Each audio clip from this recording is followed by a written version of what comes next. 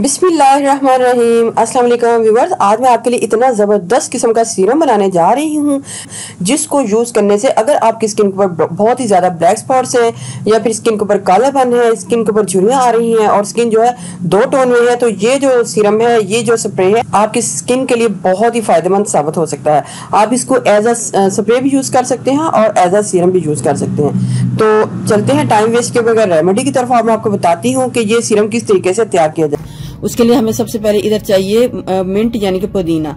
पुदीने के वैसे भी स्किन के ऊपर लगाने से बहुत ही पॉजिटिव काम करता है, ये स्किन को फेयर भी करता है, ठीक? इसके अंदर मैंने रोज वाटर को डाल के इसको अच्छे तरीके से ग्राइंड किया था। ग्राइंड करने के बाद मैंने इसका, इस तरीके से सारे का सारा जो जूस है वो ले लिया है।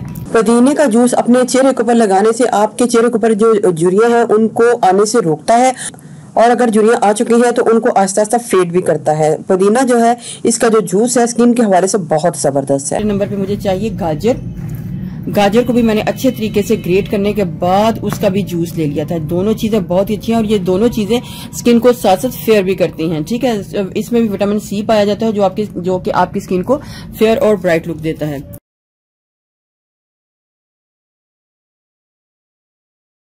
आप दोनों को अकेले अकेले भी यूज़ कर सकते हैं। अगर आपके पास ये दोनों नहीं है तो आप किसी एक को भी लेके यूज़ कर सकते हैं। दोनों को मिक्स कर लें हम वज़न, और इसको मिक्स करके अपने जो फ्रिज है, उसमें रख लें।